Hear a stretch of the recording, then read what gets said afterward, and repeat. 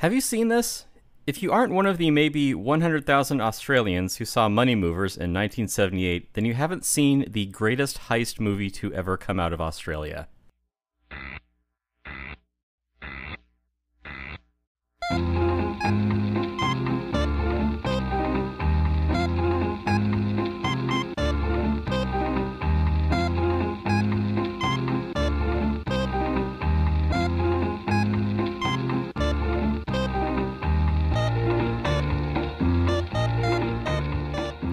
Welcome to Have You Seen This? The world's only podcast about obscure, overlooked, and misbegotten media. All discussions will be spoiler heavy. You have been warned. And yeah.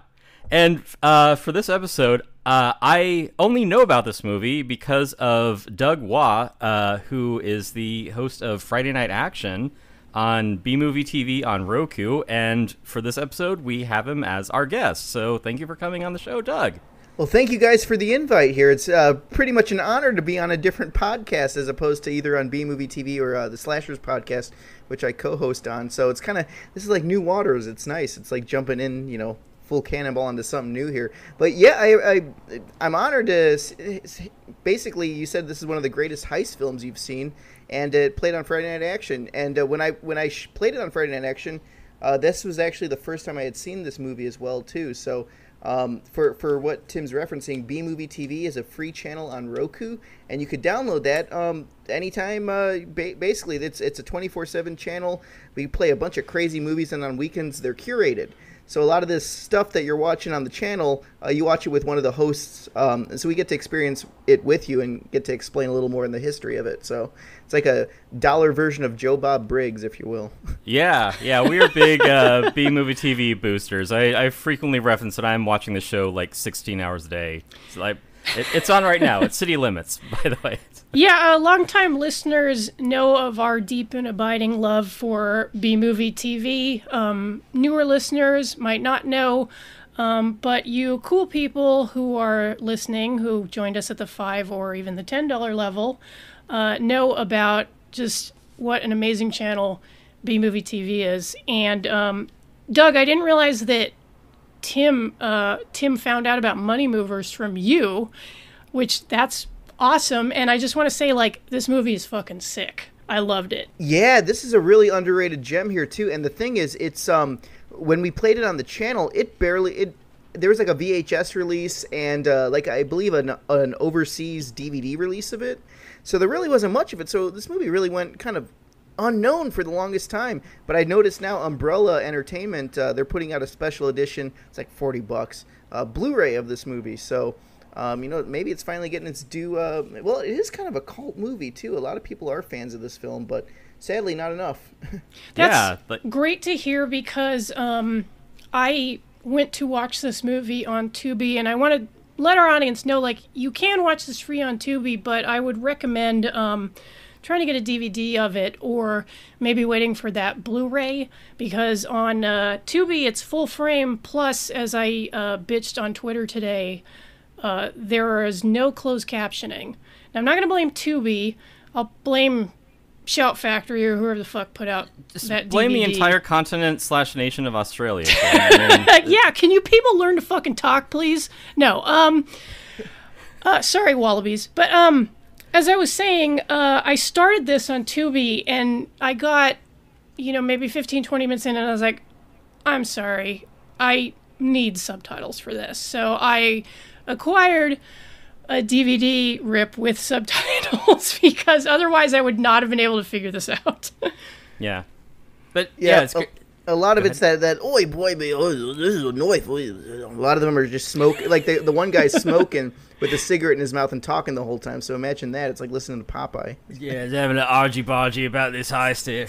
Yeah, exactly. It's like, whoa, she's a fine Sheila. Uh, There's other other bloke uh, with a beer. Yeah, I'm pretty Right. sure I heard someone say, "I'm gonna fuck this croco in the ass." How about that? And uh, Tim how will you be going? Tim will be uh, pinch hitting on the Australian slang uh, for tonight since he's actually Right, been yeah. to Australia. Yeah, I'm down with it. Um, but yeah, like back to uh, Doug's um, uh, factoid about it coming out on uh, Blu-ray. Like yeah, Blu-ray is is good. I would like to see this in revival houses. I like to see this showing in theaters again because yeah, like it is, uh, like Doug says, it is underrated. It's a hidden gem, and um, it is the kind of you know heist story that we don't really see a lot of anymore. It is a is a really complex story with complex characters in it, and everyone's got their angle that they're playing. One of the things too that I think Jen mentioned earlier is that uh, everyone here is just is dirty as hell. Everyone is a criminal. Everyone is like trying to like get you know like their own little payoff or or their own bribe or something. Mm-hmm.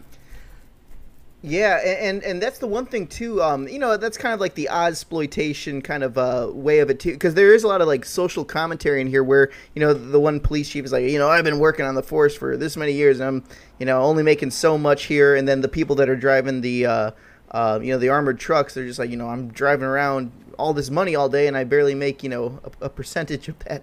So Yeah. Mm-hmm. everyone's crooked. But what's crazy about this movie? I, I, I, are you guys going to go over like the plot or like what's the structure of? Okay, We can take a crack at it. it's uh this this movie is so twisty too, which is Yeah, I'll get out awesome. my cork board and all the red yarn, and we'll we'll try and describe it. Yeah, when I first seen this movie too, um, you know, back when I showed it on the channel, um, th- th- that's the thing. Like at first, I was like, "Oh man, this is gonna be one of those movies." Because sometimes Ken sends me movies um, that you know they're they're not all the greatest movies that play on, on Friday Night Action. Right. Uh, so so so yeah, Friday Night Action is at 8 p.m. on Roku on Fridays.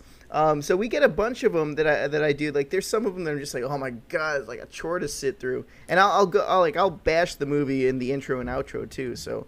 Um, But this one was the one that surprised me. I'm like, holy shit, this is like an early Martin Scorsese movie. It really reminded me of something like Casino or um, what's that one where they're, they're the nuns, um, uh, The Town. So if you've seen that one there, it's a lot like that and very, very, very brutal. Yeah, I mean, I would compare it favorably with like Thief, um, or To Live and Die in L.A. Mm-hmm. Oh, yeah. um, even like Heat or The Departed. It, it is that sort of structure where you have a lot of different factors at play, and you're waiting for you know the one person to to cross the other one, and there there are these different factors where um, you aren't sure how each how each you know grift is going to play out. Like who who's gonna um, you know come up worse for uh, for for you know their their uh, their their criminal enterprises. Yeah, and before we get into the plot, because um, it's a it's a naughty one, um, very knotted. Um, I do want to point out that this movie was directed by Bruce Beresford, and if he's not uh, ringing a bell, um, let me just drop a heavy, heavy all-time classic on you. 1989's Driving Miss Daisy. That's right. He fucking directed that. Um, so Yeah, it's, it's a lot like driving Miss Daisy. Similar arc. but interesting thing about Bruce Beresford is that um, you know obviously Driving Miss Daisy was a huge success, like all the way up to getting a, a Best Picture Academy Award.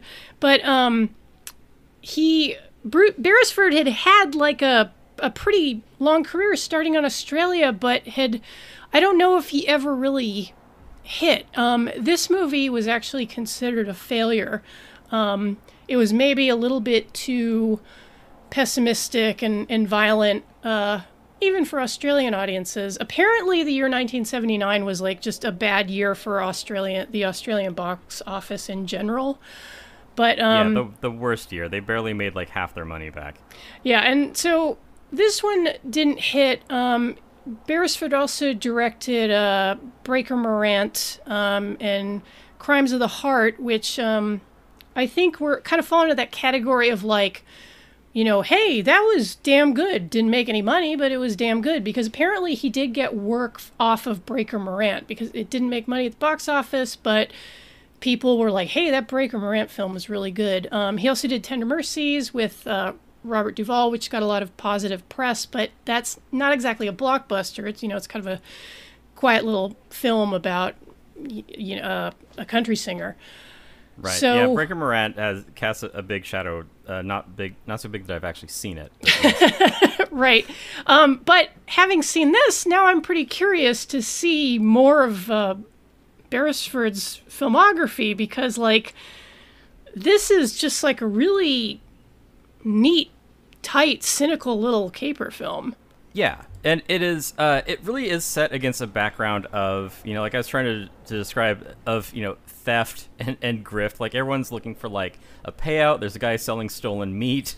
Um, there's uh, what like a a detective who takes you know a bribe from the you know security chief. Like you know i i i'd like to solve this crime for you but it's going to cost you. That that kind of level of uh, uh of um uh sort of off the books dealing is pervasive Just It- everyone it- is completely venal.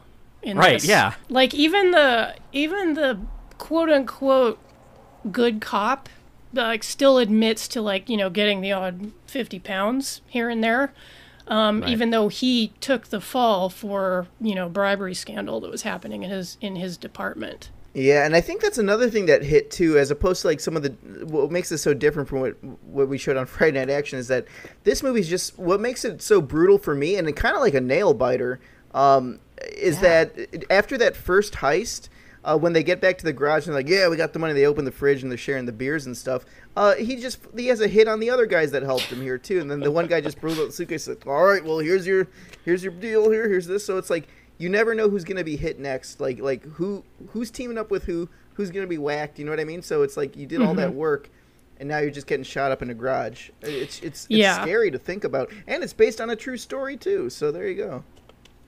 Yeah, this was a par- uh, This was based on a uh, book by a guy who started his own um, security company in the '50s, which was apparently um, a lot like uh, Darcy's in uh, the movie, um, and it drew a lot of inspiration from a couple of real life heists.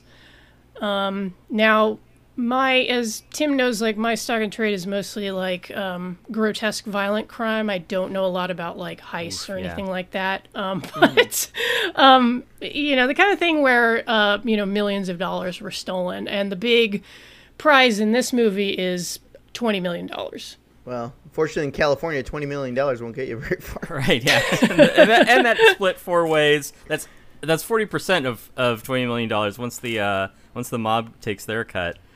Uh, one of the things too that I want to uh, mention about the beginning of this, and it's one of the things that one of the many things that I like about this is that it is um, something that Breaking Bad does, uh, just to like almost a pathological degree, is that there's a lot of um, I guess you call it like business. Like we aren't establishing characters. There isn't like a standout hero. It's like, oh, this is the star of the film. This is like their big emotional arc. It is kind of setting up all the dominoes to to be like, okay, this is you know, this is the counting house. These are, the uh, you know armored cars. This is you know the money moving through. These are all the people that are going to be involved in this heist. But you don't know like you don't know who your hero is. You don't have a clear idea of who the villain is. So in that way, the story is kind of keeping you um, kind of on your back foot, being like, we don't know where the story's going to go because the characters don't know where the story is going to go. So it's all like, here's this, we're kind of laying the groundwork, and we're going to see these things kind of fall into place, and you're going to see them as it happens,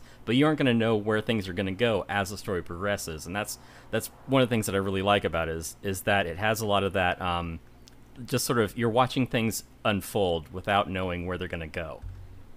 Yeah, because like even the guy that you think initially is being set up as kind of a, a patsy, someone to to pin it on, it turns out like he's secretly working for an insurance company. Right, yeah, the one who's like, oh, he's a bit flash, but like, where's he get Uh, all I his money from? Tim, I think you mean a poofter.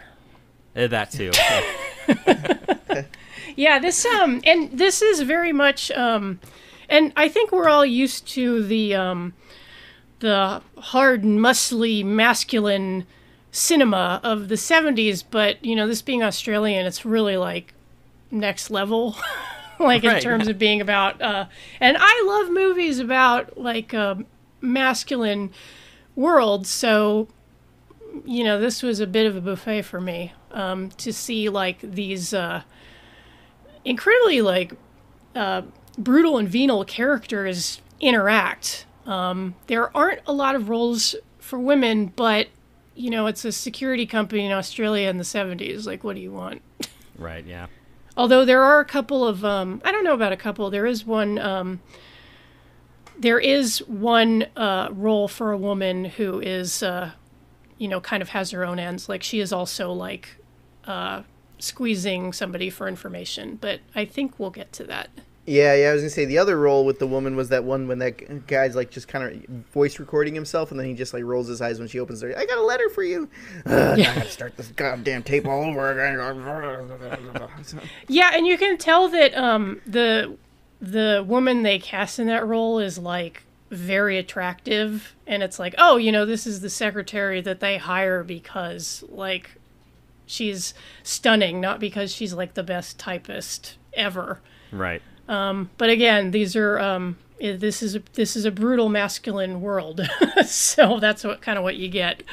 Yeah, and she's the one who, um, when whoever the uh, you know the manager is of Darcy, you know Mr. Darcy, the the uh, you know security company, uh, ultimately when he is presented with the information about you know who's who's the rat, because they established early on that it's like the person who who robs the counting house isn't some guy who like waltzes in with a gun; it's an inside job, and so the movie then becomes a matter of figuring out who is the who's the inside man who's the one who's uh, gonna who's gonna rob the place. And already we've met um uh, we've met uh, Jackson? Eric Jackson, I want to say. Eric yeah Eric Jackson who you know he's higher up on the chain.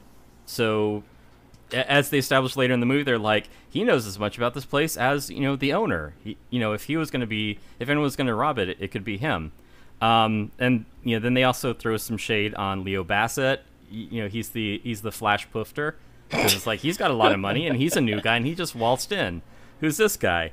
Um, and uh, then uh, let's see then there's the uh, the old like retired uh, former cop. Um, let's see uh, Martin who he's the guy who took a bribe so already he's kind of um, suspicious. So you've got you know these different characters that that are all suspect in their own way. And um, like i mentioned there's the detective earlier who's you know following up on on different uh, uh, uh, different employees to, to try and get some dirt on them. But yeah it is that um, attractive secretary who is able to you know squeeze uh, leo bassett for information and find out that yeah he's actually an internal security person. Like he's not just some some random guy who showed up. And it is kind of funny because like he doesn't appear to think anything of just like just blowing his cover. Yeah, just being like, well, I can tell you because you know you're only a woman, but uh, she's you know she's being employed by Darcy to you know figure out like what's going on with this guy. So Yeah, everyone in this has like a second uh, a second job yeah, exactly. Because what you know the their to be. first job don't pay too good. for real. no, that's why they're going to steal from these uh, payroll trucks. So- Yeah. Right. yeah, exactly. Um. So the uh, and and we get the um we get an idea of what what is at stake. We see you know the first heist go off, and it is kind of like that um uh.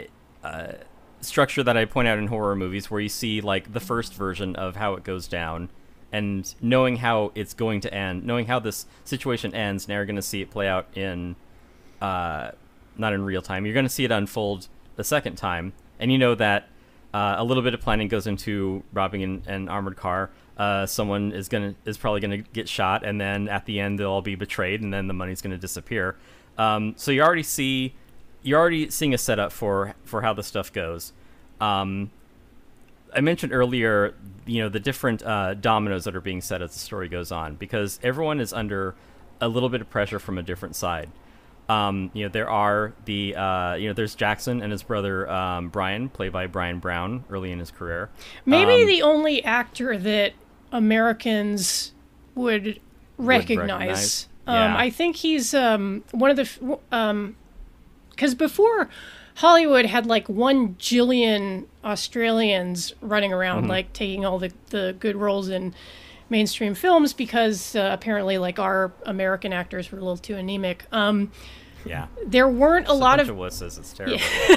there weren't a lot of uh, you call that an actor this is an actor um, there weren't a lot of australians breaking through to the united states i mean you would have occasional um, uh, you know hits like i, I want to say like man from snowy river and stuff like that like early in the 80s um, but i think um, i think bryan brown got popular on like uh, the thornbirds or something like that I'm a little fuzzy in my TV miniseries history, but he'll be passingly familiar to American audiences. Uh, the rest of these guys, I was like, uh, they're they're all really good. Like I kind of want to get familiar with the rest of their work. Like you know, Terence Donovan, who plays um, Jackson, um, you know, kind of the Yeah. corrupt senior guy. Like he's really good and shows like a lot of like really amazing physicality. Like I did not expect like as much physical conflict in this movie as there was, but there was like a lot of like you know not just like people getting shot, but like brutal fist fights. Oh yeah, you'll you'll catch a beating at the drop of a hat in Australia, just in general. so Yeah, that's like them mo- most of the time in the movie. They're they're all smoking or drinking a beer at the so you know just to wake up in the morning and say, oh okay, don't smoke on this. So, yeah, this, this movie's full of it. So, just a, a quick fist fight to start your workday. oh yeah, that, No, it's true called though because mate. there's Yeah. that whole part in the um in the union meeting where they're like, you know, like we're not, you know, we're not going to be chained to the money. That's a violation of our individual rights. Um, Yeah. When uh, Bryan Brown's character um, kind of mouths off to uh, uh, Dick Martin, Martin, the ex-cop. Martin's response is just to fucking punch him in the face. It's like, oh, there is no HR department in this company. Like this is That's how Australian things get debate. settled. Yeah. Yeah, that, that reminds me of the cops from Blood Diner. If you guys remember that, where he's just like, "I don't like the way you're talking," just punches him in the gut. So I'm like, "Yeah, this uh, this the Australian PD is very much like uh, Blood Diner." So, Yeah, very very direct. yeah, yeah, there's like um there there are so many like like big shattering punches in this movie. It's uh it's one of the things which makes it so cool. Right. Yeah, because uh, see, what other what other fist fights are there? There are a number of them. Um, there's uh, yeah, there's Jackson throwing his weight around, trying to intimidate um, Leo Bassett, the new guy. Um, just uh, kind of giving him like like drop in uh, sort of uh, security inspections, but it's really him kind of casing the joint. Mm-hmm. And it's great because that goes really well with him, you know, pushing Leo around, and then like then the two of them go for a drive, and then they just like stop a robbery.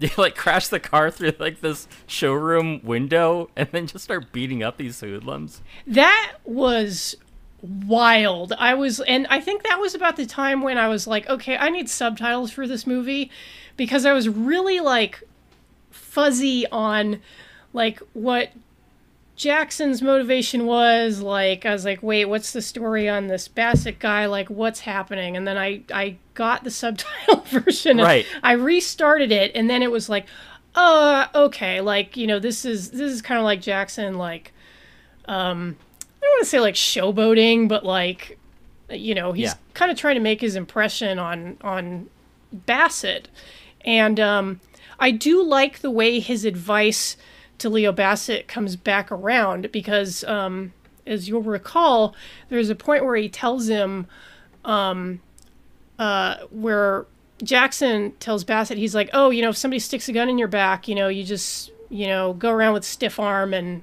you know, disarm him or however he describes it. And then Jackson tries to pull the gun in the back thing on Martin and just gets his ass handed to him like Yeah. later in the movie. And I was like, "Oh shit, like that paid off. This is great." I love it when things are set up and paid off in a movie. well, this will do it for you. Like I said, I uh, Tarantino must have watched this one and not have given it any credit because there's a lot of stuff in this. Uh, you know, especially getting to the the um, the the toe clipping scene. You know, there, Oh, there's a lot of stuff like Reservoir Dogs and uh, y- you know, because that's what Tarantino does. He takes a lot of his mo- movies and uh, he takes steals some of the ideas from these other ones here. Oh, he yeah. absolutely watched this on a shitty VHS. Oh yeah, and that's why I, when I'm watching, I'm like, man, this feels like a Tarantino. I'm like, wait a minute, I shouldn't be saying that. The- the Tarantino ripped this shit off. Yeah, So- that's kind of Tarantino's thing. Yeah, Yeah. like that's so wild that like you know Tarantino ripped off Bruce Beresford because Bruce Beresford is credited as the screenwriter. He adapted the book that it was based on, and I'm like, Yeah, well, I mean, Death Proof is just an adaptation of Driving Miss Daisy. You know, that's yeah, with extra foot fetish. right. Yeah. and Tim, I know how much you loved Death Proof. Death Proof was the last Tarantino movie that I saw. I, I saw Grindhouse and I was like, okay, I'm I'm done. I paid my dues. I'm not going to watch any more Tarantino or Robert Rodriguez movies. I'm done. Yeah, well, you didn't miss anything with uh, Once Upon a Time in Hollywood. I saw that in the theater, and I don't know, like maybe I wasn't on the juice that everyone was drinking. It. I saw that in the ArcLight theaters in Hollywood um, Yeah. before they closed down. Everyone in the theater, in fact, uh, my, my wife and uh, our friend, they went with us too. They fucking loved it. Like this is this is Tarantino's, uh, you know, masterpiece. And I'm like, what the fuck did I just? Did you guys watch the same fucking movie I did? Like seriously, oh my god, like this was two almost three hours of nothing until like the last ten minutes. Oof. Yeah, it's like yeah, Quentin. Like I get what you're saying, but I've heard it, and I I'm good. I'm done now. So I'll get around to it one of these days. yeah, I- uh, do it. Do it or don't. See if you Three like. three hour movies that aren't Lawrence of Arabia are a really hard sell for me. It's like your movie better be like fucking great before I spend three hours watching it. But that's yeah, just but me. I mean, yeah, and this is what a scant, you know, hour and a half or so. Plenty brutal. Um, Yes. uh, like D- Doug mentioned, there is a a toe cutter scene. oh god, which yeah which is is interesting because um you know the toe cutter is like this like uh urban legend i guess in australia that that you know that's what you know the crims do when they come around if you don't pay your protection money they start Yeah. cutting off toes which is like apocryphal apparently it isn't something that you know there aren't australians walking around with like seven toes or anything but it's something that's just enough that's like in the zeitgeist that everyone's like, yeah, you know, better watch out, or you're gonna meet a man with, you know, uh, some uh, bolt cutters, you, and you're gonna have to buy smaller shoes. first, yeah, that was uh, the name of the main baddie in uh, the original Mad Max was Toe Cutter. So, Right, You know, yeah. The Oh shit, you're right. here, yeah, no, for you Yeah. know, um, first they glass you, then the drop bears get you, and then they cut Yeah. off your toes. It it is a cursed land. Yes, It's a brutal country. it is for it's it's a hard country for hard people. No wonder they're angry and fighting all the time. Well, yeah, because if the people aren't trying to kill you, then they got all these poisonous insects and animals that will. So Yeah, Yeah, like, they climate just even- boiling you alive. Yeah, they even have like they even have like venomous animals, like you know platypuses Yeah, have like get- a poison getting killed by a platypus. How Oh, how shameful would that be? Can you imagine? I mean, have you seen those kangaroos like up close in person? They got like Freddy Krueger hands, and you know, you know the Australians are just out there punching them. So Right. Yeah, like um, I swear, like you'll occasionally see. Uh, like a photo will go viral of like a kangaroo and it's just like it's like fucking ripped like a WWF wrestler from like the early 90s just like and it's like Jesus H Christ like these things just run around like yeah, what and, you know, yeah. It's just the Yeah. six foot tall murder uh, rodent. Yeah, and you get the Australians like, oh, no, no worries, man, it's just a roo, a roo Yeah. on roids. So Roided root. maybe um maybe like all these guys are like stealing money so they can get the fuck out of the country yeah, I mean, could be. I, yeah, and it's weird too that they didn't lean on any of the ruse of the drop bears, so that maybe that's why it didn't do so well. Yeah, there you go. If it only had Yeah. been more a little more like Kangaroo Jack. Oh yeah, cinematic uh, masterpiece. Well, see, then they get pissed off because they realize they went over to America or a different country. They're like, "Well, this is Australia, man. Your money's not good here. the Right. conversion rate sucks." So we were talking about uh, different pressure on each of the different characters. Um, there is Jackson, who is definitely going to rip this place off, but he doesn't want any attention drawn to him, so that's why he's like, "Oh, what about you know Dick Martin? He like he took a bribe. What about Leo Bassett? Like he's got all this money." And uh, also, there is you know the union versus the um, you know versus the the Darcy institution itself because uh, one of the guys gets uh, gets uh, killed. You know, he gets clubbed on the head during a another uh, heist, and so they're like, well. You know, y- we don't want to work. You aren't taking care of us. And there's Darcy too. That's like, if we get robbed one more time, our insurance is going to go through the roof, and we won't be able to operate anymore. Then we'll all be out of work. So Right. everyone is like under this pressure of like, I I don't want to do the thing that I have to do in order to keep functioning in this story. So everyone's like their back is up against the wall, like in, in all these different ways, and that's what I love uh, about that propelling the plot forward. Is like everyone is compelled to do something that is inherently dangerous to them. It's a pressure cooker. Right. Oh yeah, and, and they don't care. At the end of the day, it's like you know, I might die, I might not. At least I don't have to worry about the rent at the end of the day. So they just, they just, no one cares about like the the well being of their own life. That's what I feel like too. So it's like they're taking the chance to get this money, but they're like, well, if I fail, eh, game over. You know. So Yeah, it's it's do or die. Mm-hmm. And then a lot of the story. Um, one of the uh, go ahead, Jen. Oh no, I was just gonna say like that's another kind of interesting theme that you can kind of extract from it is how much the employees of Darcy are expected to put their bodies on the line for cash.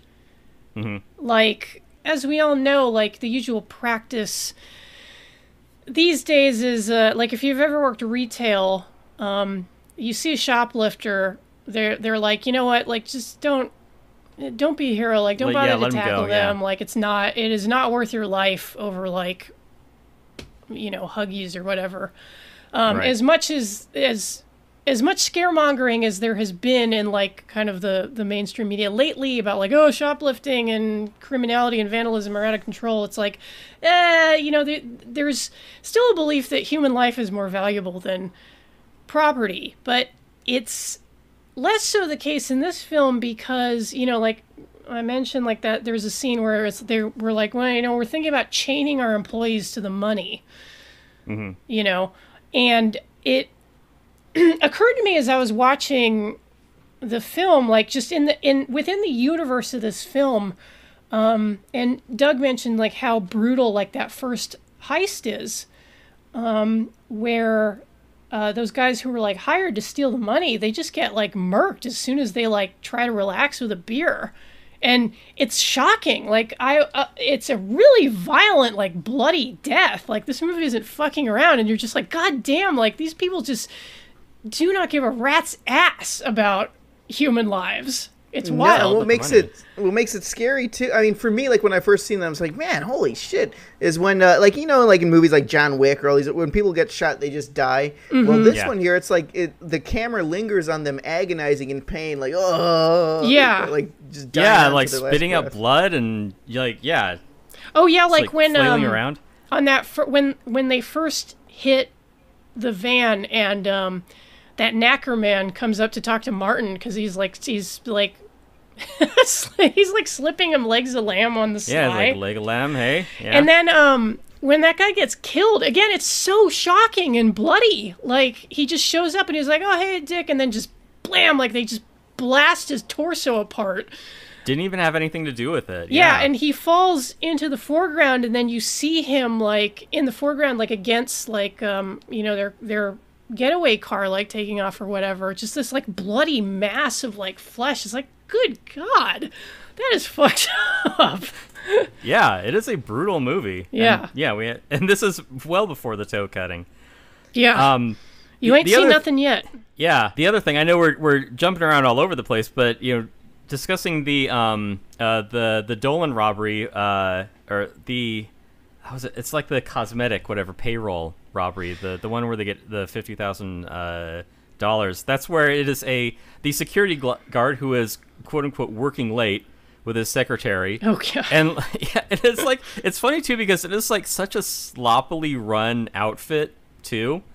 Like the only reason that it gets hit is because uh, that is like Leo Bassett like deserts his post to take a woman home, which even if you know Leo's you know sort of on the make, it is him getting conned by this woman who's like, we need to get the security guard away from the front door, so there's just the one guy that we can then break in and then steal the money out of the safe, and that is also an inside job from Jackson.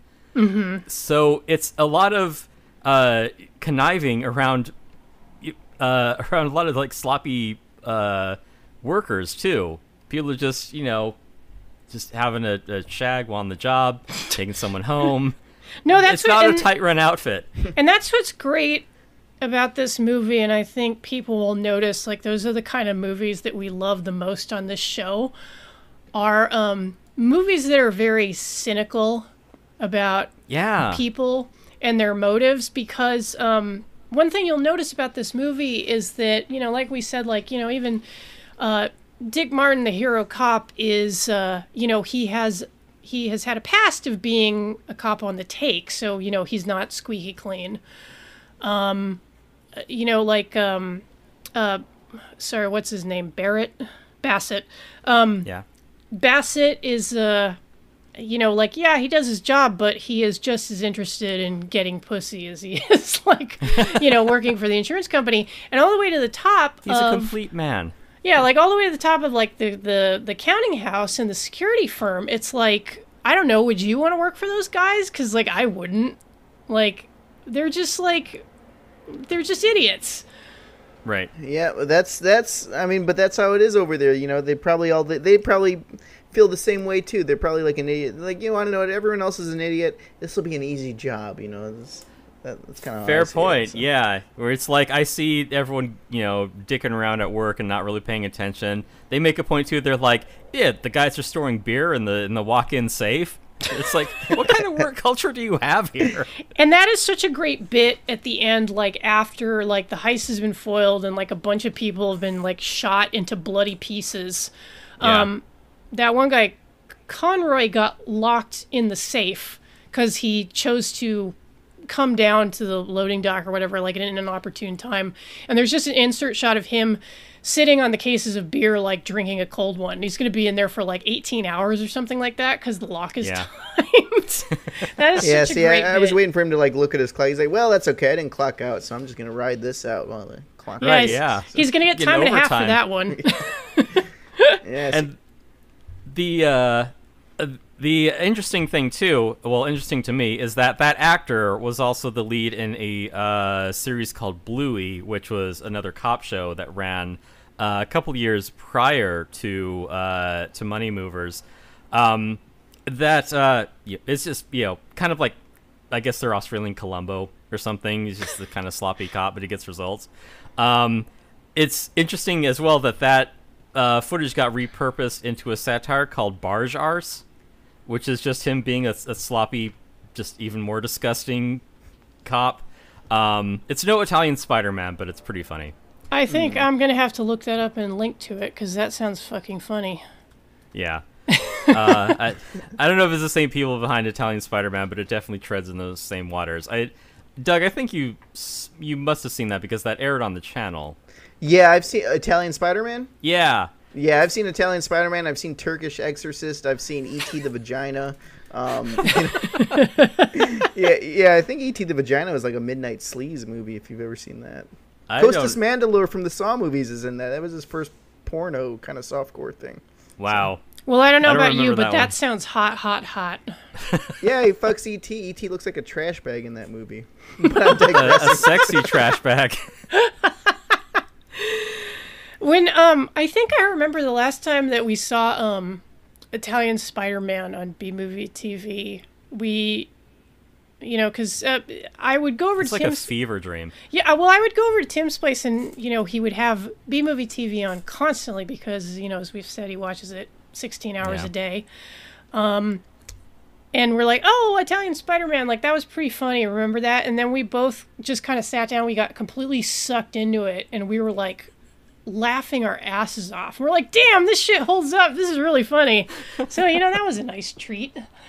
Yeah. Yeah, there, there's some real gold in there. Like I said, this is one that just came across me, and I watched it, and I'm like, holy shit, this is this. Is, so you do get some good gems on there. Um, yeah, I don't want to digress too much here, but yeah, the uh, was it more of a fever dream than Pervy the clown? Oh man. Um, uh, Pervy the Clown. Like if if Videodrome were real and I turned in, tuned into Videodrome, it would just be Pervy the Clown.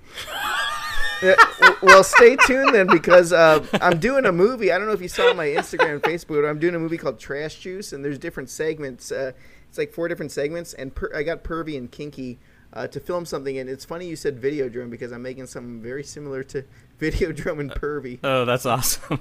I'm just dying laughing, imagining um, Tim plugging into the into the vaginal like open wound in his stomach and like what he sees in Yeah, his like brain television. yeah. is is Pervy the clown and Kinky Candy. Yeah, and Pervy's just on the TV. Yeah, well, let's have some sex. Pervy, Pervy, no! I'll hail the new flesh. Whew, just boy. just for, 40 minutes of that. Just them back and forth. yeah, well, funny thing about that too. I mean, I because I've met Richard and uh, Kinky before. In fact, we were in an episode Um, my wife and I were in an episode. Well, y- Yahaira, she does Saturday Night Terrors at 10 p.m. Yeah. Yeah, so she does that, and uh, we, we we guest starred in a Pervy the Clown episode. I think last Halloween. Um, so yeah, it's it's just kind of like one of those things where it's like, man, you know, it's, this whole fever dream thing is is real. Um, I've never seen someone that can improv for two hours straight and not break character. Now I haven't seen that episode. I've only seen the uh, the four that have been filmed since 2017. Um, has this one aired? Uh, yeah, it, it airs on Halloween. Well, good then. You didn't see my dick then. So- Oh, okay. Well, funny.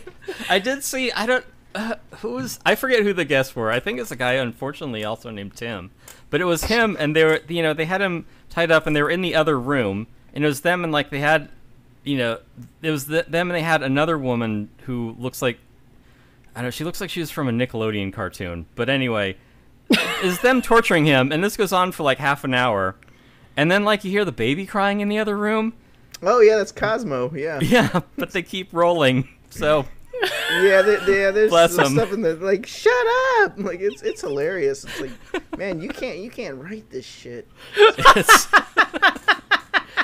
it is, well, yeah. I think I think it's like something that I told you, uh, or that I said to you uh, a, a while ago, is that there is nothing else on TV like Pervy the Clown, and that's probably for the best.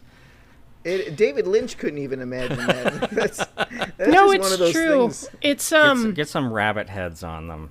it Yeah, is 'cause- uh, it is the definition of outsider art. Yeah. Well, when I when I post this stuff and I tell people like, hey, you know, Friday I'm on Friday Night Action at eight. Um, you know, I have some friends and some people that watch it that are um, over in different re- uh, areas, and you know, the Roku goes based on your time zone. And Mm-hmm. so, like, hey, I, I tuned into your show, but I turned it on, and there was a pregnant clown girl dancing on a ball dildo. like, oh, you, yeah, you've gone too far. Yeah. It's little, like, oh, you ran into pervy. Yeah, Sorry about that.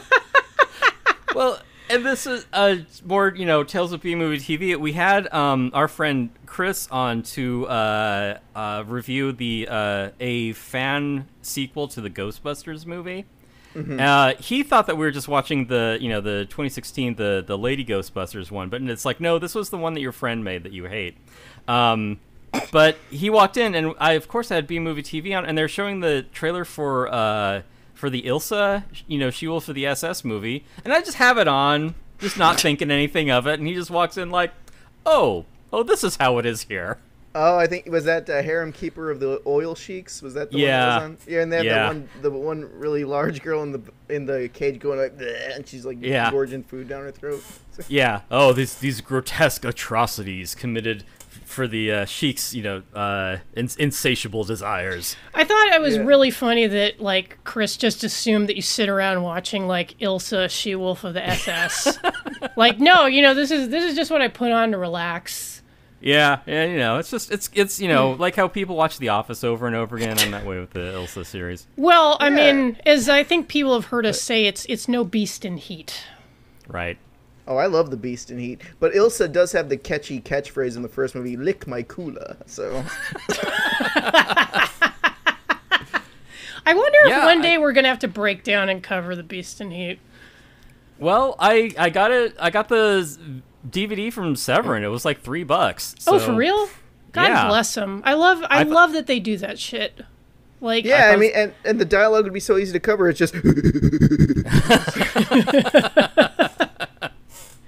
I I- swear that same actor showed up in uh, Salon Kitty because I mean you can't really mistake him for anyone else. Yeah, if you needed like a monkey man, he was he was your go-to guy. I also uh, amongst the you know the the plot I think of you know Beast in Heat is, is is really what separates it from the rest of the uh, Nazi exploitation movies. But I do like the part where a priest gets into a fist fight and punches out a bunch of Nazis. That's fun. That's a great scene. That's um what what other critique of fascism do you need? Honestly, Right. See, that's praxis. Mm-hmm. Punching That's exactly Nazis. right. But Uh, back so to I the we're workaday talking world about of moving money. Uh, yeah, don't do it. It'll end up badly for you. There, I think we covered it. uh, man. Everyone wants in on this. So who knew that like carrying money would be such a lucrative thing? Especially like I, I kind of forget how did the mob even get word of, of what was going on? They're like, hey, wait a minute, I want this. One. This is like a GTA Six server or something, you know? It's a- Yeah. GTA Five. Oh yeah. Well, yeah, and that is it is a complex plot, and it's the sort of thing that I think if it were made today, it would be a half hour longer, and there would be like a coffee shop scene of them explaining everything to the audience about what's going on.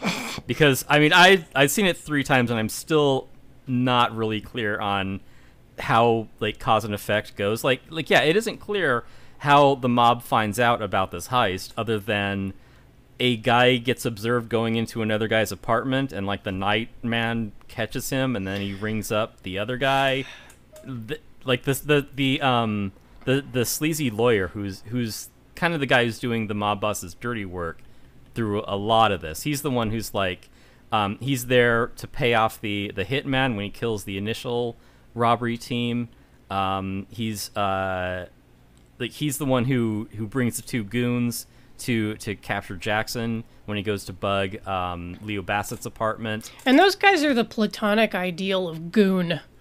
Oh yeah, it is like a, a potato in a in an ill-fitting suit. yeah, he has like that really shrunken in face, and like when he's going to cut his toe, you know, the mob boss is like, you know, I'm a businessman. I don't really like doing it this way, but go ahead. You know, he calls him out, and then he just gets so sad when, like when he cuts off his Yeah. first pinky toe. he's like, "That's fine. We'll negotiate." And the the look that Goon just gives him is like, "That's it." He's so crestfallen. Yeah, because those those insert shots of the goon, like when he's like he's just waiting for his boss to give the word to fucking start cutting off this guy's digits. He's so delighted. It's just it's so upsetting, you know, because he he looks like a a you know seven foot tall root vegetable in polyester. Yeah, he is. Yeah, he's the sort of guy that's going to enjoy this this sort of thing. So yeah, no small roles, only small actors, and he is an enormous actor. So. You remind me of that guy in Leprechaun Three, the one that gets the coins shoved out of his mouth. So, because that was another Goon too, if you remember that movie. That's I very goonish. unfortunately, Yeah, but I don't know. Was Yeah. was three Leprechaun in the Hood or which No, that's where he goes to into Vegas. space. Ve- Oh. Okay, space. Vegas is the third one. Yeah. I, you Damn, know, he went more places than I did. Shit. yeah. I love the one where he goes to Dollywood. I need I need a Leprechaun uh, Friday the Thirteenth crossover. Look, if Leprechaun and, and Jason are both in space, they should meet. Yeah, and you know, that throw Who would Hellraiser in there while you're at it. Yeah. Yeah, might as well throw Pinhead in there. You know. Yeah. Exactly. But um Although, yeah. no, go ahead, Doug, please. Oh no, I was just saying Leprechaun's a cool guy though. He's out of all the horror people, I'd rather hang out with him. All he wants is, yeah, all he wants is his money. He's a lot like money movers. It's like, hey, take take my fucking money. I'll rip your fucking finger off. It's like Yeah. Leprechaun, you're a good dude. I'll drink I'll drink a pint with you. So He knows what he's about. Yeah. You know, if you don't cross him, you can be mates. No, yeah, like there's there's a you know, his very straightforward guy. So Jackson, he's been working on this heist uh, on his own, like independently, and then the mob finds out. And cut to like another brutal fight scene of him because he gets maced basically at Bassett's place, and then gets hauled back to you know the mobster's house, and they you know try and uh, cut a deal with him, and he just fights his way out of it. Uh, and he and he nearly makes it, and then that's when they like bring him back, and then they they take his shoes off and, and one of his toes along with it. That shit was wild too because it's like he fights through like 10 guys with his hands literally tied behind his back.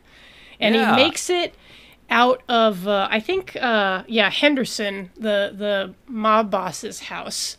And you know, he's rolling down the hill and you think he might almost make it, but then, you know, like five guys jump him and like drag him back like.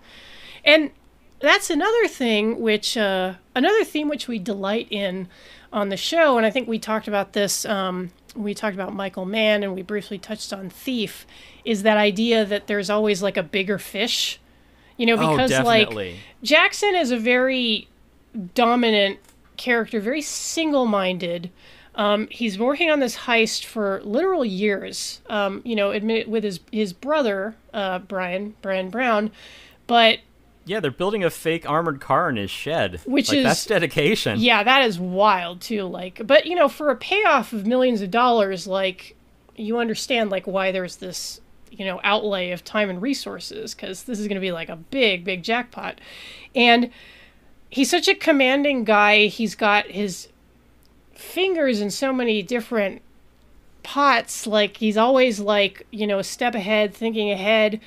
And then Henderson steps in. He's like, give me a cut of that. Like you do the work and like, uh, you know, just uh, take a fair percentage. And it's like, God damn it. Like, you know, Right. you, you bust your ass for years, like putting this heist together. You build an entire fucking like fake, not a fake car, but like a, you know, fake armored car. Like, yeah. uh, Yep. you're Boss some- makes a dollar, I make a dime. Exactly. You're like obviously some kind of like you know like judo master, you know, because you can fight off like ten guys with your hands tied behind your back. But no, like He's this, the average drunken Australian man. Like that's they're just They- that good. they have and, no and what was the percentage? Did, uh, I'm trying to remember the mob was percentage. Like sixty percent. Was it sixty percent? He wanted. It was or- it was two thirds to start, and then he Mm-hmm. left him with like he he he cut him down, no pun intended, to only taking forty percent. Like their end of it is forty percent. right? Which Sounds is like the credit cards now. So- Right? Yeah, a little little steep. But, But- yeah, like Jen says, is there's always a bigger fish because yeah, Jackson had um he had this whole thing planned out, but and it's like he seems like a legit guy who turns out to be a bad guy who turns out to meet an even worse guy. so that's kind of the progression of it. Like it it, it, it expands it. it. It works on on bigger levels. It, it it ratchets up, you know, the stakes every time you you introduce like a new character or a new angle. and I think that's what makes this movie so unique is that every single character, uh, like you said, it's the bigger fish. Yeah, that's what just makes it so great is that um, you know every single character in here is has an has like you said another job, and uh, they're all brutal to one another. Like you never know. Like literally, I wouldn't be surprised. Like w- watching it again, I'm like I wouldn't be surprised if all of a sudden another character just came out. That you meet a new character. And then all of a sudden, that new character is introduced for maybe five minutes, just gets his head blown off or something. Right. You know? So it's like, oh, this was my job. I was actually planning this the whole time. you know? Right. Yeah, you do find out that there are there's another angle to every character like the more you get to to know them and in fact like Leo Bassett because this whole thing is set off by an anonymous note saying your count house is going to be robbed. And that was Leo who sent the message to insinuate himself to flush out whoever was going to rob the place. Right. And no one knew because everyone was suspect. It's like that's why you didn't know. Like you were just as in the dark as any of the characters are supposed to be because if you tip off any of them, you could be tipping off the guy who's going to do it. So he has to play it really close to the vest. Yeah, because like Darcy is like uh he's really pissed at the he's like, you know, well you could have let me in on that and then and you know, Bassett's like, You were one of the suspects. Right. Like it was obviously somebody on the inside, you know. A few people would be in a better position than like the guy running the company to like, you Yeah. know, knock over a few of his own fans. So yeah, Yeah. like everyone is on the take in this movie. And as the the plot progresses, you see that you know their problems are introduced and solutions, you know, have to be cobbled together while the clock is ticking. So you're getting these plans and these complications, which I don't know if I can introduce Traveler one more time, but that's that is a good story. It's where you think you've got everything planned out until the rubber hits the road, and then you're like, oh, this is actually a completely different scenario than what I expected. And and Jackson gets some of that because he's used to this whole time just going over and, and kind of knocking Leo Bassett about because he's the new guy until he meets, you know, Dick Martin, and Dick Martin completely like outsmarts him and has, you know, basically has him under his thumb. Like he uh, Jackson has met his match when it's him against Martin because Martin is a former cop and he he is not one who's like easily fooled or you know pushed around the way that Jackson's done to all these other uh, security guards in this force. Like you see that they're shaping up to be um, adversaries, whereas Jackson, who's trying to get away with, who's trying to like, he's been kind of fast talking his way through so much of this, but Martin just is not having any of it. Like even like if you're a guy dressed as a, as a security guard, if you're coming out up to do like you know a, a surprise inspection, he's like, no, surprise inspections are first cleared with you know our central authority first, and also why the fuck do you have a lockpick kit on you? like you are up to no good, and you're trying to talk your way out of it. Yeah, I mean it's it's Australia, so I would have imagined they would just go like, oh, okay, well, that's okay. You'll be you'll we'll, we'll nickname you Lockpick and just let it be. So you know. Right? Yeah, she'll be right. Who who doesn't have a lockpick you know kit on them for one reason or another? It's always a special moment in an Australian child's life when they get their first lockpick kit. Yeah, I was well. You know, I'd wait for one scene where it's like, "That's not a lockpick. This is a lockpick." Their first gotta lockpick lockpick kit and their first can of Huntsman spider repellent. Yeah, there you go. Actually, well, those I think those aren't venomous, are they? The big ones. I thought Uh, huntsman spiders were. I'm not gonna risk it. Uh, I, I'm thinking of the. You're thinking of those those orb weaver spiders, the ones that are the size of your thumb. Those Yeah. are venomous. Yes, Wait, orb weavers are venomous in Australia? I guess. Jesus Christ! Wow. And I'll I'll show you a picture of one, and you'll be like, "No, that is not like up close. That is far away." Uh, no, it's Yeah, well, if actually you 2 wanna- feet across. If you want to really scare yourself, you'll see how it is. Like in the morning in Australia, people sometimes have to take a can of compressed air and spray underneath their uh, door handles. Uh, there's a video. Just type in huntsman spider. The guy sprays conde- uh, canned air on there. Big ass huntsman spider just falls right down out of there. That's Yeah, how you get in 'cause- Australia. God. Because they'll just like hide like behind a painting or like you know a mirror or like some nook in, in like your ceiling corner, and then like because it's a big spider, sometimes they'll lose their grip and you'll just be sitting there and then just thump, like, oh yeah, that's the spider. God. And then the Well, spider wonder- gets up, dusts itself off, sa- says, "Oh, good evening," and then it just skitters on its way. yes, yeah. Well, I wonder if there's like a, been a lot of like car accidents um, in Australia because of that. Like, because I've seen videos too where people are driving and they t- put down their mirror and a huntsman spider just falls right in their laps. God. I'm shitting my pants just imagining it, let alone if it happened to me. Fuck. Right. Fucked up. I thought that did happen to you. Not a not a huntsman, but like well, any spider when you're driving a car is an unwelcome spider. No, yeah, there was that time I, I, I got into my car in the in the morning after I was on my way to work and I had just walked through the, the front yard of my apartment complex, which and it was fall, which is like orb weaver season. Um, You know, the very they're harmless, but they're big spiders and they build huge webs like stretching really far. And you know, you'll see them out of the corner of your eye and it's just like, oh yeah, it's the big spiders. So I get in my car and I, I am geez, this was so long ago. I, I was messing with my iPod in the car, and I look. I happened to glance down at my right shoulder, and there is a fucking orb weaver spider with, a body like the size of a quarter, like crawling up my arm, like toward my shoulder, and I just like I just went and like flung my arm out. It like flew into oh, the- good, my Uber's here. yeah, it flew into the back, landed on like the sunshade that I had like in the back seat, and then I just grabbed it and like flipped it out onto the concrete. And for the rest of the day, I was just like unconsciously wiping my arm with my left hand, just like bleh, bleh, bleh. like that's that sticks with you. And in fact, like I have goosebumps telling the story because that's how much it freaked me out. well, you got your little uh, piece of heaven from Australia. That's kind of how. Yeah. You know, that's a demo version of that. So. it was a spiritually Australian moment, and uh, Yes. This is a spirit. This is a this movie is positively resplendent with the spirit of Australia, wouldn't you say, Tim? Yeah, everyone it is a criminal. Um, so, so you've got uh, you've got Jackson and, and Martin at odds. Uh, Martin is proving himself to be capable, and he's helping to kind of shepherd Leo Bassett along into becoming you know more of an active security guard. Even though Bassett's got his own angle that he's playing because he's secretly you know like his internal uh, security guard. Um, so things are shaping up where uh, they do briefly, uh, you for the audience's benefit, explain what the heist actually is, and it is we're mocking up a truck and we're going to pretend to be the other truck before the other truck arrives.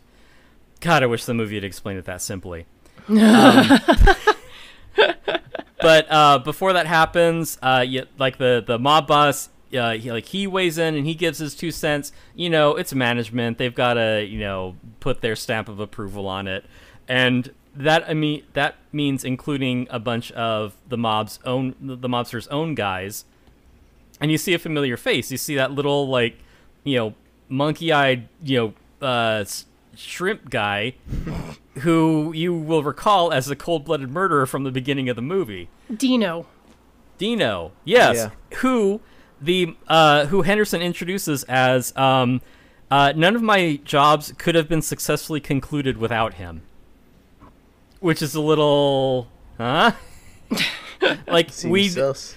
yeah, we're seeing how this how Henderson is expecting this job to be concluded, with uh with all the uh all the participants being murdered in a tire yard. Oh yeah, good point. Yeah, and even bec- and the uh, the sleazy lawyer is great too because uh, again Henderson describes the the plan where he's like, do your robbery. I don't need to know the details. You'll go to a tire yard that I own.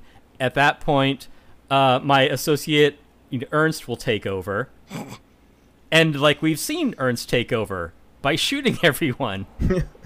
so, so even if this heist is successful, it's possible that these guys are all doomed anyway. So they're they're driving towards this inevitable conclusion mm-hmm. that is just not going to end well for them no matter what they do. No matter how well off the heist goes, they're dead basically.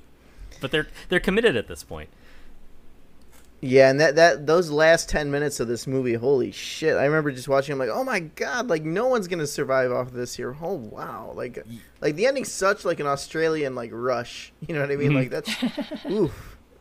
Yeah. Are you gonna explain the ending because there's so much that happens real quick too? So Right, and the ending too. Like just before they go to pull off the heist, uh, I mentioned Heat earlier, and kind of the the the core tenet of you know uh, Robert De Niro's character in Heat is just like you know you can't have anything in your life you can't walk away from in 30 seconds, and and that's kind of what all of Heat is built around. But this like that is like one scene and three cutaways. They do that same theme where it is Jackson like him, you know, closing the door on his wife. It is the old guy being like, "Well, I guess maybe I'll have a better time in Thailand fucking underage girls."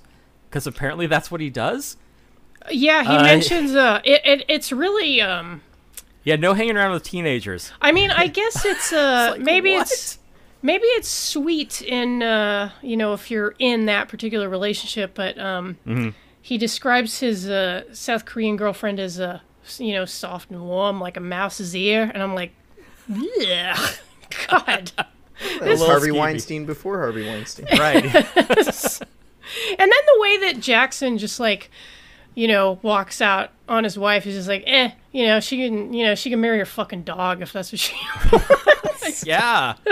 Yeah, and Bryan Brown, his character is like, yeah, I just want to talk to my girlfriend for a while. It's like, like, what's what's up with you? Like, Going out. Like, all right.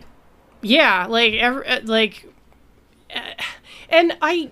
I don't want to say that you know all the characters in this movie are sociopaths because you know that's not true, but I think it's more you know you don't even have to use like psychological terms. It's more just like everyone has this singular focus on getting a big payoff and getting away Yeah. scot free. Yeah, it is. Uh, it is very pragmatic. It is uh, a matter of commitment. They're singularly focused on the task at hand, which, as Doug mentioned, it it goes wrong in a couple of ways, and then it just turns into a bloodbath. Yeah, which you're you're kind of uh I mean you're kind of excited for like as a movie viewer cuz you know Right. when um you know the mob boss gets cut in on the deal um he's going to take his cut from from Jackson. And you know they get to the day of the heist and you know everybody like puts on their uniforms or whatever. And i'm just thinking like oh man this is just gonna end up a bloody mess isn't it? It's gonna be it's gonna be awesome. Like you know it's gonna happen.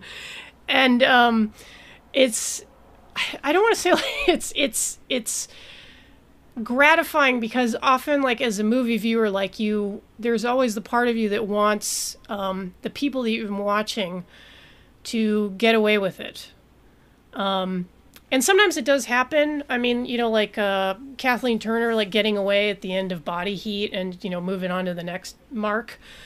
Um, but in this case i'm like i know that there's going to be like a huge bloody ending like people will die you know it's just the way it's going to be and it's going to be brutal but it's um it's also just such a crazy intense and well shot scene Yeah, and uh, one thing away from like uh, you know some of the action movies that we've shown before too, and like what makes this so impactful is that uh, you know the director made it seem every bullet hit counts. Like it's not just like a throwaway like oh oh oh. No, this one is like you feel the pain of these characters. Like they're sitting there screaming, like their facial expressions. The acting's really good in this film, by the way, too. Um, But yeah. Yeah. every bullet hit you take, I'm like, man, that's gotta hurt. Like you could feel like the burning and like the muscle from each shot there, and it lingers on their pain. So it's like, man, you know, this is not gonna end well. You know, not at all. Fuck, I wouldn't. wanna- I, getting shot with the silencer too. You know, that one guy's going crazy with the silencer. Yeah. Um, yeah. And Someone there, gets shot in the ass too. I remember they're like underneath the table and gets shot right in the ass. and these are like not um these are not fights where the outcome is certain. It there's a lot of back and forth where it's like one one side gets the um gets the upper hand and it it seems like it's a done deal and then the other side comes back and there's a lot of back and forth with it. There's um yeah, it, it starts with one of the guys, uh, regular guys working at the count house, is like he's supposed to go away while they steal everything, but he's not. And then you've got you know the assassin where he's like, you know, he's screwing the silencer onto the gun, like, are we gonna shoot this guy? Um, you have um, you know the the uh, higher ups waiting outside the door because they've been locked out while you know this this melee is going on. Um, you know, there is uh, whether whether you're armed or not, or just like you know throwing fisticuffs. You know, um, Martin, you know the ex cop, like he is uh, he's just like handing out beatings left and right. And I don't think like he even has a gun for much of the time. Bassett, like his gun is empty. Um, and Because he's the poof who doesn't like guns. Right, yeah. he's like he's like kung fu. Yeah. Um Yeah, so it just it, it goes back and forth and it is up until the point where um for whatever reason, you know, Martin is hesitant about shooting, you know, uh Bryan Brown's character. Uh, and for that, Jackson shoots him in the fucking back. yeah. It's awful. You see him drop. Um, but and yeah, like like Doug is saying, like each of these, you know, bullet hits count because then you know Martin isn't completely down, and then when you know Brian is going to open the gate, he gets shot, and like we've seen them linger on shots of of you know people being shot. Uh, but yeah, the one on on Brian at the end, you're just like, this guy is in agony. like he's just dying terribly from being you know shot in the spine or what have you. Um, Yeah, which I kind of I kind of like to see in a movie because as much as um you know that kind of uh gore and pain is hard to watch, it's also nice to see a movie which doesn't treat this kind of violence as, as trivial. And I'm not opposed to stylized violence in film or kind of glib treatments of it. It really depends on the movie, it depends on the tone, it depends on so much. But it is nice to see a film which is not afraid to be like, yeah, like like this kind of violent death like really fucking sucks. Like it's it's agony, it's painful, it's it's bad. I mean like when that um when that one guard Dolan gets killed, you know, guy was just like doing his job and you know he gets uh I yeah, he think- gets bonked on the head. yeah and um i think jackson just kind of hand waves it as like oh you know it was an accident. I didn't mean it. Like he knew the guy but Yeah, you know he had uh he had an aim that he wanted to achieve. He needed this like you know relative yeah chunk he was change committed to his goal. Yeah, Yep, for um, because he you know he had like expenses and you know for setting up the big heist, and he's like, well, you know, like yeah, I, you know, fucking killed him accidentally. What are you gonna do? And it's like, god damn. yeah. It's you know cause and effect, plans and complications. It's it's a complex story. Then you know that's what I really respond to about it because yeah, they're people dealing with the consequences of their actions Mm-hmm. Yeah, and, and see what's crazy for me, like I, maybe I was overanalyzing this too much, but when I watched it a second time for the podcast here, it was just like, you know, all these characters in the ending, you know, i- if you were to really break it down, all of them had different reasons in their head. So they're thinking in their head, it's like, oh, when I get this money, I'm gonna go do this. I'm doing it for this reason. I'm gonna do this with this. I mean, and and then in less than five minutes, everything is just all those dreams and ambitions are, are shot dead to the ground. You know what I mean? So Right. it just shows you how pointless and how fast life can go like that. You know? Yeah, it goes sideways in a big way. And even to the point where, um, when it is who we have uh, come to realize our protagonists and antagonists are, you know, Leo Bassett and Jackson, and it's the two of them, you know, fighting amongst each other. um, it, until I think it is Bassett that gets shot, and then it's just a Jackson left. So it's like there's still you know a narrow path to victory here, um, but uh, I believe uh, Bassett unlocks the door and lets the you know administrators in, and they know what's happening, and then it is a character David who is kind of minor, but he- speaking of um, you know everyone kind of like double crossing each other. Uh, just like um, like Jackson uh, clubbing Dolan over the head. Jackson has a relationship with David. Maybe it's just professional. Maybe David's in on it. But David shoots the shit out of Jackson. he like empties his revolver in, into Jackson up against the side of the armored car. And here's the question that I have: Is that to protect himself, to ensure that Jackson dies and doesn't say anything about who set this up? Oh, Oh, I, I, think so. Yeah, he was just he's like, oh, these bullets are expired. I'm just gonna unload them now. You know. So. I had a little different interpretation because of uh, a couple things which happened earlier in the film. Okay. Um, when he shoots Jackson, it it's like this act of like incredible rage. It's like um, you know what they, what they call like overkill in a murder. You know when you stab somebody like forty seven times, like oh obviously it's personal. Um, there's a hint earlier in the movie that um, you know like for example like there's a scene where uh, Jackson goes to his place like after um, like he he Tim remind me of where that happened in the movie. It's uh he gets uh Jackson gets injured and he goes over to uh Yeah, that's after he gets beat up by Martin. right yeah because he goes over to his place has a beer and he's bitching about like yeah you know if you know I got caught by by Dick Martin and you know blah blah blah and there's a moment where uh shit what's the other guy's name again the Welsh guy What, David? David, yeah. He um he says to him like, "No, you know, stay. Have another beer." And there's like there's this weird little moment you know where he's it's like, "Wow, he's like really hoping that Jackson stays and has another beer?" Huh. That's interesting. And then later on there's a scene where they're talking about um they're talking about like the backgrounds of the employees and like who might be in on you know who might be like the inside man and you know most of the employees of darcy uh, are you know people who kind of failed at law enforcement and so went into being a security guard.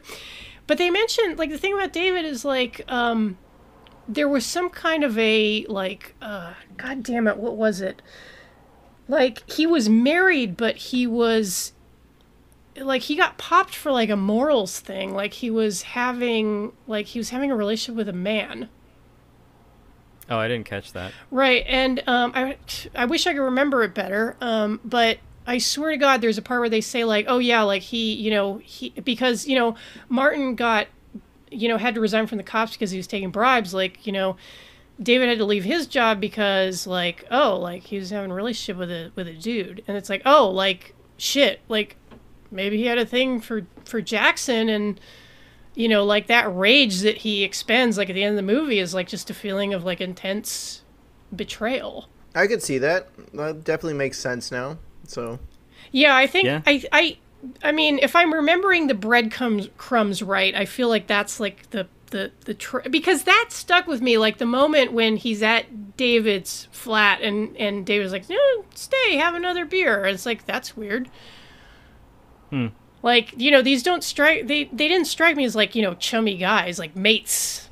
You know, Right. but it's like, huh? Why is it? Why is it, you know? And like as a, um, you know, especially like 1979, Australia, like you know a bloke asking another bloke to stay for another beer bit sus Yeah. well, cruising did come out a few years later, so yeah so. Really opened up Pandora's box, just just gaped it wide open. i kind of like that because um like and there's no um you know there's no judgment to like that whiff of homosexuality like if i'm interpreting right it simply is. And it just is another like character interaction which adds kind of to the fabric of this movie. It's like, oh, like he had a thing for this guy, and then when he finds out like just what an incredibly like uh, you know, venal criminal he was, and he fills him full of lead. It's like, damn. That's brutal. Also a valid reason, yeah. Yeah. Well, yeah, all these characters like they have their own motivations for whatever reason. Everyone's everyone's got their angle that they're playing. Yep. And that's what makes this movie so good too, is that you can watch it multiple times and pick up something new with each viewing. You know. Yeah, it is such a, a a a tight story because I am like as I'm taking notes to make sure I understand what thing leads to the next. I know that there are other things that I'm missing. But yeah, if I go back and watch it again, I'll be like, "Oh, okay, this sets up that other thing." It's very it's a very economical story that everything, you know, leads to one thing and you you do have to fill in some of the gaps because it's really fast paced too. It it mm-hmm. moves by really quickly and I, you know, have a hard enough time paying attention to like a podcast that I might be on. But, um, but, but yeah, to have to pay attention in the movie and be like, okay, this is setting up that. We know what this guy's about. We have to understand this person's motivation, how it relates to the other person. It's very complex, rich, and satisfying movie to to engage with. Yeah, and in a movie with so few, like, um, you know, people get so concerned with, like, oh, well, are the characters likable? Um, it doesn't fucking matter. Especially not in a movie like this one. Yeah, you you determine whether or not you like them by what they do, basically. It- and yeah, no one has like a big melodramatic turn, like, oh, once I get this twenty million dollars, I can pay for my mom's cancer, or some you know something like trite like that. Yeah, because, like, even Martin, who is, um, you know, like, nominally a good guy because he wants to stop this heist, you know, there's still that suggestion of him, like, taking bribes, and, like, you know, he's an ex cop. I mean, like, these aren't, Right, like, yeah, squeaky he- clean people. Yeah, he has uh you know like bitter relationships with his former coworkers because like oh hey guy who sold me out to protect the rest of the department. Oh, yeah. guy. like because um and you think that this movie is going to be like a you know it's just going to be like a straight a cab movie which is like um you know look at how like corrupt like law enforcement is. Like these aren't good guys like you know in white hats. You know everybody has their own motivations. But it's everybody. It's like everybody like in the security service the counting house like the union. Like the union is incredibly corrupt. And you know this isn't about like um you know, improving the lives of the workers, it's like basically like serving the needs of the bosses. Right. Yeah. Very cynical Even like film. the the yeah yes Yeah, so it just shows that even the higher ups too, you know, the bosses were all planning that too. So it's like, man, you know, people are just working, you know, regular minimum wage jobs, uh, you know, to kind of support themselves. And you know, here you are, you thinking you're doing good for the better good of the company, and here they are, they're the ones, you know, in charge of robberies and and, and yeah. Theft and all that, Right. you know. So yeah and and we tie it to tie it back to the cops at the end too like the real you know uh sucker punch at the end is after this has all been laid out and Jackson kind of has his little insurance policy of you know he has the the note uh you know fingering Henderson on Yeah. him and the cop finds it I, I believe it is you know a detective and he finds it and he rings up Henderson and he's like hey how much to keep your name out of the papers And- That's so good, and it makes me think of um, a similar moment in, but well, the end of To Live and Die in L.A. when you realize like John Pankow is just falling into the exact same role that his dead partner did. yeah Like he is also going to exploit this woman and just like, you know, pursue his own ends, and it's again so cynical. I love it. yeah everyone's just looking out for themselves in all this Mm-hmm. so What yeah, that's probably do? the most uh, insight we've done on a Friday Night Action movie here. like, man.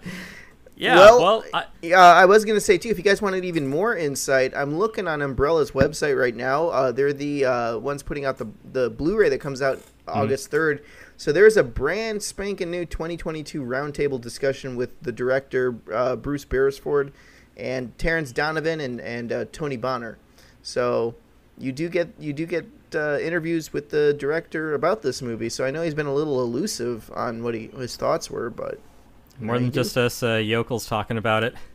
Yeah, yeah, you get a nice little poster in there too. Uh, you get your toe clippers. So Well, I this is uh, again B movie TV continues to pay dividends. I would have known about this if I hadn't been watching Friday Night Action with Doug. So uh, yeah, thanks thanks for being on the show. Thanks for talking about it with us. Uh, is there anything else that you want to mention? Well, thank you guys for inviting me uh, onto the show. This was a real uh, nice treat here. And anytime we get to do, uh, basically go into more detail on you know movies that we've shown on the channel, I love that because a lot of these movies I'm seeing for the first time too. Um, I guess there is one other thing too. So there's another movie. If you guys watch B Movie TV, um, I it, one of the episodes I did. Uh, it was a movie called Eagle Island. Uh, I don't know. Did you did you catch that one at all? That was I- like one of the, the earlier episodes. Don't remember. Probably. I mean, it is all a blur after a while. There's no way Tim hasn't seen it. Let's Right, put it yeah, that way. he true, might he might just not remember it. Yeah. Okay, yeah. Well, this was a Swedish film, and we showed it, and you can't find any information on it. And then when I watched it to do the the, the show on it, I'm like, holy shit, this is a good one. It's uh, it's so crazy, but it's almost in the same vein as Money Movers. Yeah, Eagle Island is just uh, two female uh, bird watching photographers go to this island they think is abandoned, and it's actually run by Russians, and there's Nazis on this island too. So they're about to save.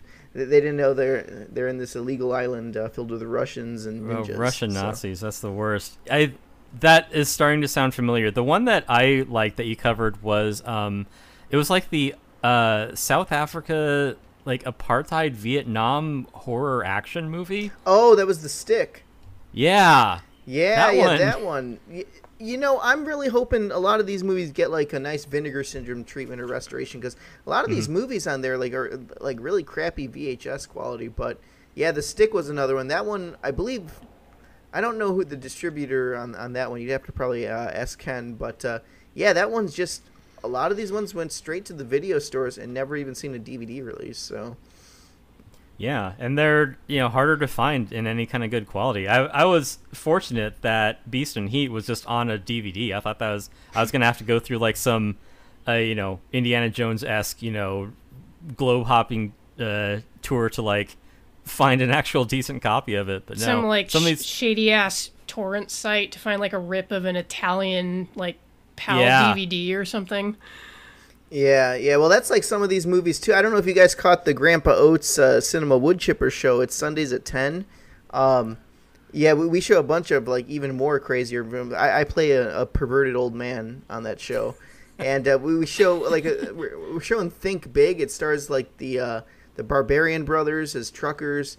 Um, so we show just a bunch of weird stuff. Uh, there's also Revenge of Billy the Kid, which is a British. yes, I remember that movie. one. Yeah, yeah. Oh, that's a good one too. That's uh, That Yeah. is perfect for what your show is about. yep, Yes. that is. It's sleazy and uh, Jennifer, have you have you seen a Revenge of Billy the Kid? I have not, but it sounds Yeah. delightful. Yeah, Jen will go outside, unlike me. So I, I watch Oh, okay. a lot more B movie TV than she does. Uh, let's I gotta say, walk like, my uh, dog sometimes. Well, this one's an old uh, an old farmer fucks a goat and he ends up uh, raising it as a, as a kid. in the when the goat gets older, it becomes this rebellious teenager and uh, starts killing the family. So Wow. That's- yeah, I think there's a life lesson in there for us all. To be There betrayed is, yeah. like that by your own kid, if you will. I know, literally, it's a kid. Oh, it's a joke. Oh, I get it. It's a, it's a meaning. Yeah. Doug, you, Ace, and the entire B Movie TV crew are doing heroes work. And uh, thank you for bringing us this movie because I enjoyed the fuck out of it. Yeah, Well- this was great. Well, thank you guys, and it's people like you that make it, you know, really fun to to do. Because if we didn't have an audience, you know, it'd be like, man, who are you just doing this for? But um, yeah, surprisingly, the channel's been doing really good. Um, you know, I I I, joined, I I teamed up with Ken and Mary D- Death, and uh, you know the rest of the B movie crew. I think when the pandemic first started, so I had them show uh, my movie Gross House because they were like, I found B movie TV through Roku. I'm like, hey, you guys are showing movies. Here's my movie. And then um, they played it on the channel, and they were like, "Oh, one of the guys from Friday Night Action like dropped out." Uh, and I'm like, "Well, shit." Like I just made like a comment, like, "Oh shit, well I'll host it if you want." And you know, t- how long has it been? The rest is history. Yeah, it's been.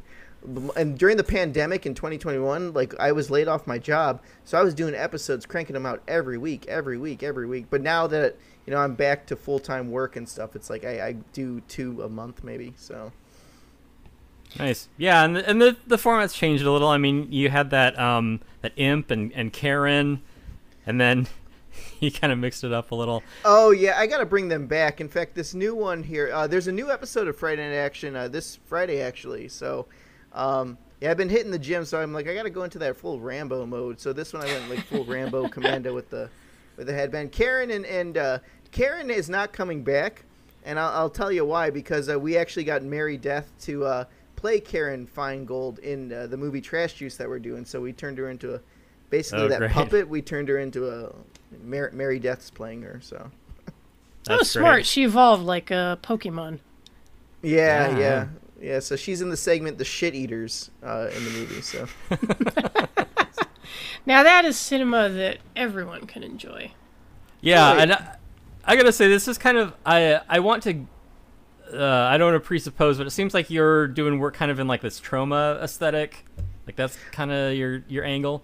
I am. I- I've been a big fan. Well, I've got like a Toxie tattoo here. He was like my first tattoo when I was in the military, and then uh, you know I got Nice. full cheese zombie. So a lot of that stuff that, you know, I feel like eh, I'd hate to say it's budgetary constraints, but it is budgetary constraints. I- I'm You work with what you got.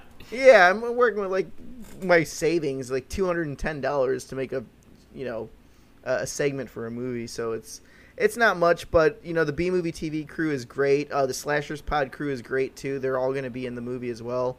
Um, Nice. And like I said, like I, I'm, we're trying to expand B uh, B movie TV. Um I think we talked to Ken about having it on Prime, like the Fire Stick and stuff, because I know Roku's still kind of a select um, audience, but I think Roku's still the number one streaming platform uh, as opposed to like the Chromecast and all that. So Well, yeah, I mean it's kind of they're they take a a bigger piece of everything else because I mean there are niche players, but it's like if you want any streaming service, like Roku supports that, so they're pretty well positioned, in my Ye- opinion.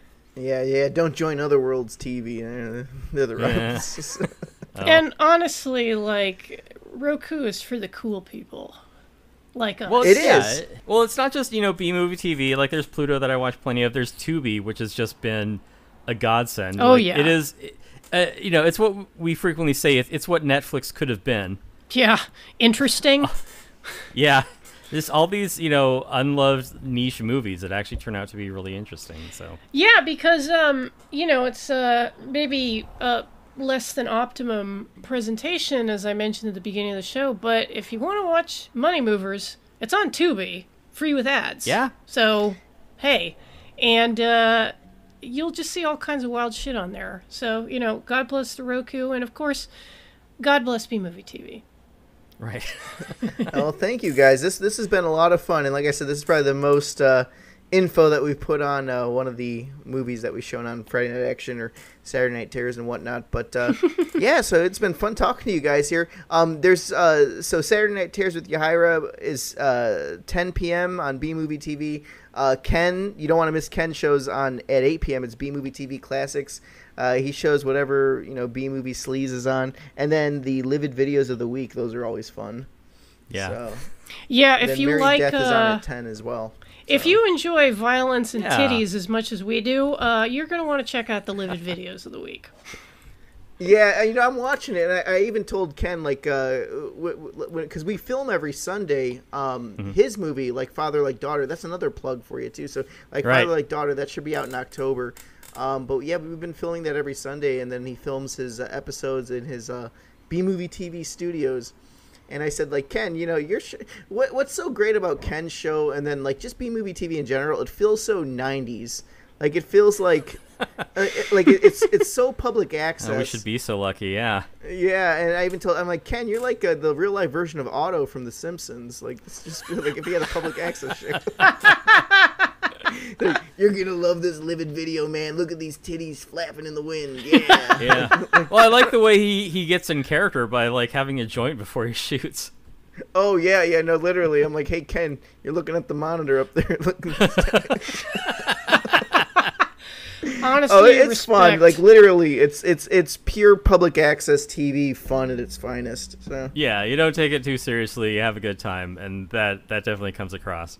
Yeah, and that's the kind of thing that we want to elevate on the show because we are all about kind of the um, the obscure, the overlooked, the shit that's a little Right. weird. Um, Yeah. that's what we want to talk about on here. So we appreciate you bringing it to us for this episode. Yeah, and um, the other, oh, I forget his name.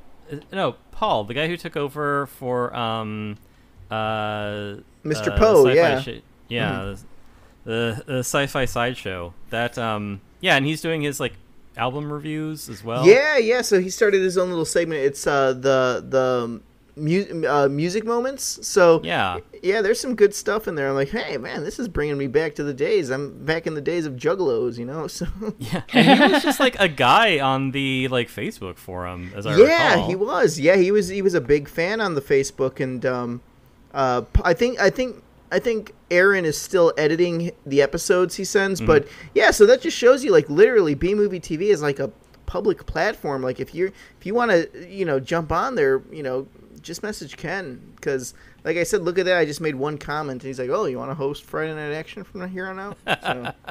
And Yeah, it became because- a staple now too. I love getting these movies to watch because you know, yeah, a lot some a lot of them are trash, but sometimes it's Yeah. like, man, this is gold. You know.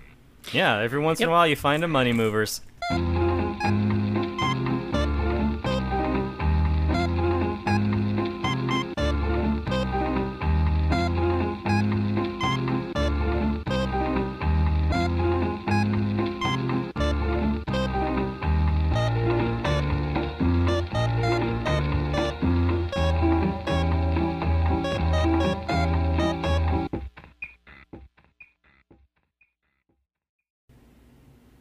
Ooh, that's good.